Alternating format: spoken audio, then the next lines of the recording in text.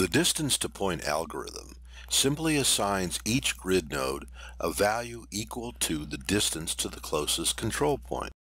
GIS-oriented applications include distance to market, distance to railhead, and distance to pipe junction mapping.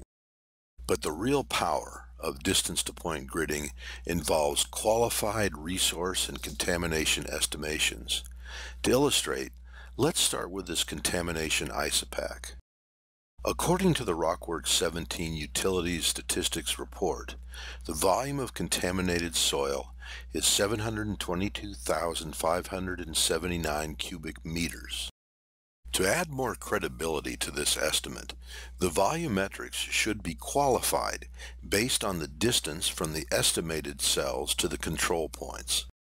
We start by filtering the distance to point grid into three Boolean models based on distances that are determined by the spatial variability of the data.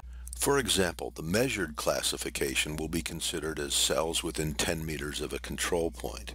The indicated classification will be considered as cells between 10 and 20 meters of a control point, and the inferred classification will be considered as cells between 20 and 40 meters of a control point. All other cells will be discarded. These Boolean grids are made up of ones and zeros.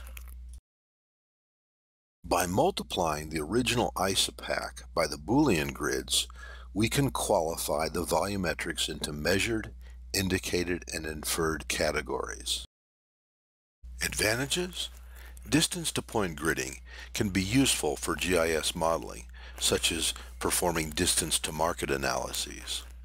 Distance to point gridding, more importantly, can be used in conjunction with Boolean math operations to compute qualified resource or contaminant estimates based on cutoff distances between the original control points and the interpolated cell nodes.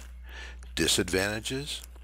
Distance to point gridding does not illustrate the data itself, just the proximity of grid model nodes relative to the original data and distance to point gridding is not intended for modeling structural surfaces or isopachs.